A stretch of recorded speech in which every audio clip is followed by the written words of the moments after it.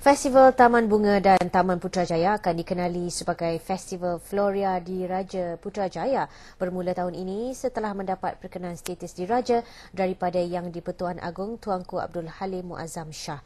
Baginda memberi perkenan itu ketika menyempurnakan perasmian festival di Pesisir Tasik Presin 4 Putrajaya pada Sabtu. Seri Paduka berdua mencemar Duli kira-kira sejam selepas melawat tapak pameran termasuk Taman Diraja, Taman Kucing dan Pavilion, Flora Pavilion.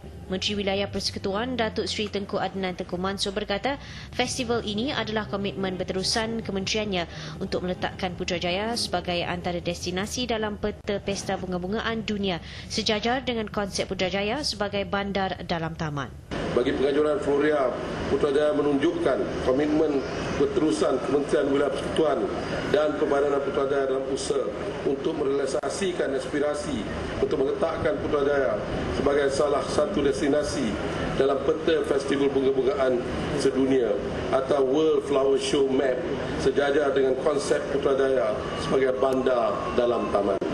Sementara itu, Presiden Perbadanan Putrajaya PPJ Tan Sri Dr. Asih Cik Mat berkata status diraja tersebut akan mengangkat imej festival dalam peta Pesta Bunga-Bungaan Dunia. Jadi dengan perkenan tuanku menganugerahkan uh, gelaran diraja untuk Floria ini, uh, kita akan bekerja keras untuk memastikan uh, Royal Floria Putrajaya ini akan menjadi satu brand negara. Dengan status ini juga bermakna yang di Pertuan Agong akan berkenan merasmikannya setiap tahun.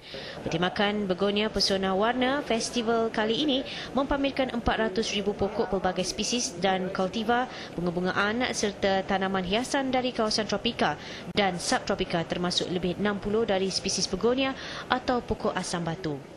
Festival yang berlangsung pada Sabtu sehingga 22 Jun ini dibuka dari 9 pagi hingga 10.30 malam dari Isnin hingga Kamis dan 9 pagi hingga 12.30 malam pada Jumaat hingga Ahad. Bayaran masuk RM3 dikenakan untuk dewasa dan RM1 bagi kanak-kanak berusia 7 hingga 12 tahun.